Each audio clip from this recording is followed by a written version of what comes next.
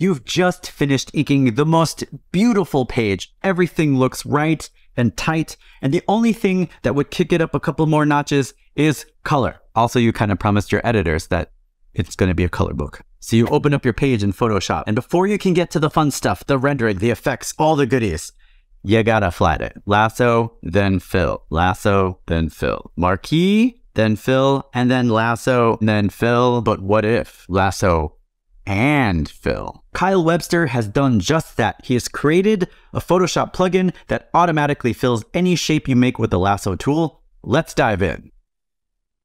So the way we traditionally work our flats, we have our page here, we do a selection and then fill.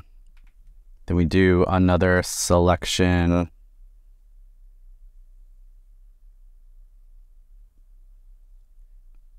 And then fill. If we're really clever, we'll do a selection. And we've mapped it to a macro key. Bam, fill. Those extra steps, those extra key presses take a little bit of time. Not such a big deal on a small panel like this, but those key presses add up. We want to optimize things as much as possible, so let's start over. We're to go to our Lasso Fill plugin, turn it on, and watch the magic commence. We got to start with the biggest objects in our scene, go from wide to tight, and I'll show you why in just a second. So we'll lay this down. Bam! Look at that.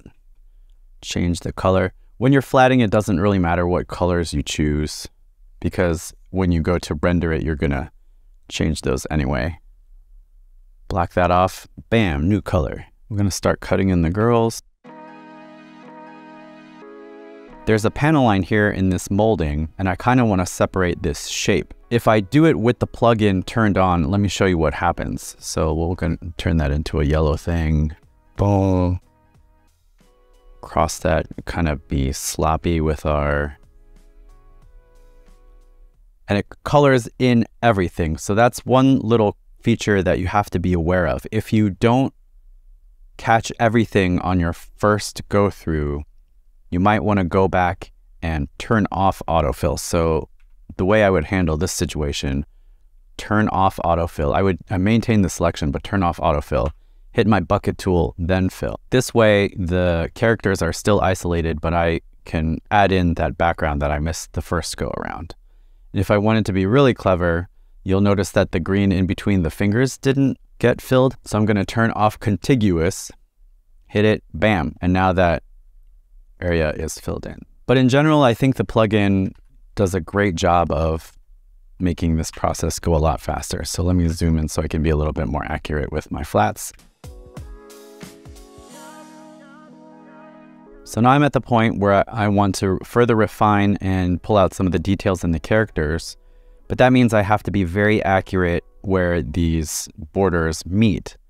And the whole point of this plugin is to save time. So what I would do is turn off autofill, select the characters, put them on a separate layer, new layer via copy, boom, and then lock that transparency. And now I can be sloppy on the outsides and cut out the characters a little bit further. One feature I just discovered if you turn on the plugin and you use your magic wand tool, if you select a, an area, it'll change all of those into uh, a different color. So that could be good for when it's time to actually color and you need to change your flats to the appropriate color and not this weird clown shit. that should help.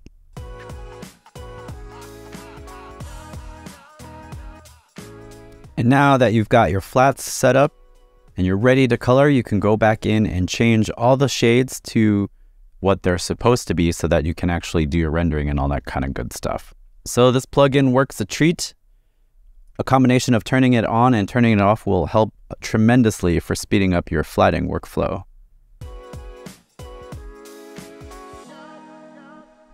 There we go, much less clown makeup. And now we can get to rendering and do all that fun stuff. Hopefully you can see the benefits of lasso fill for your flatting workflow.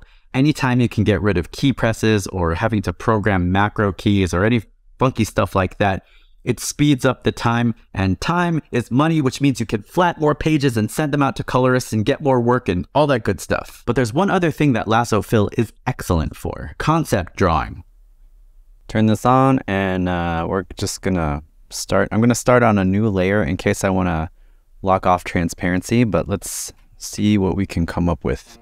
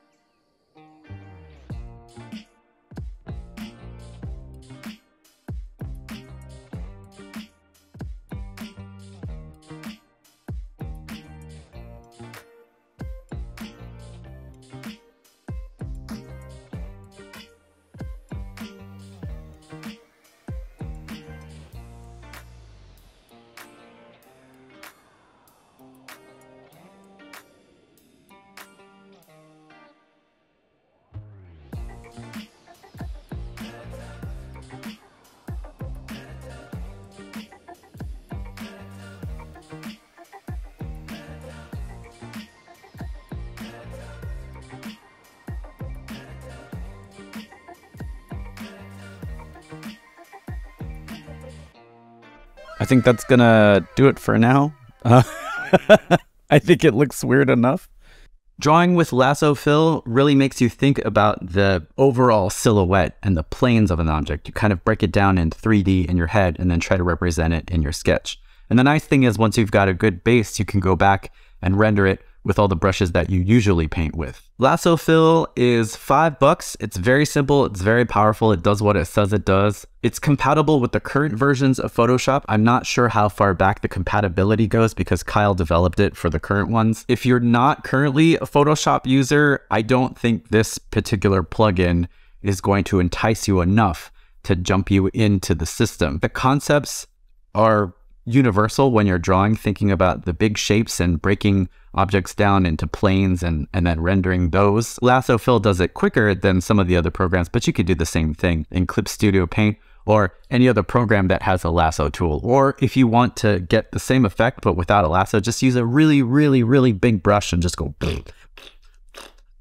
If you are a current Photoshop user and you're looking for something that could help speed up parts of your coloring workflow for comics, or if you're looking for a fun tool to play around with for concept designs, I think Lasso Fill is a good plugin to look at. Five bucks, you're already subscribing to Photoshop.